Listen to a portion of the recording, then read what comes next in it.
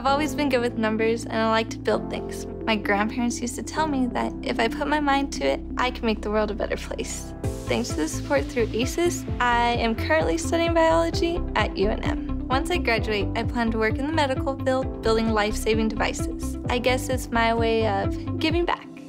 American Indian Science and Engineering Society, investing in STEM education for Native students. Find out more at aises.org.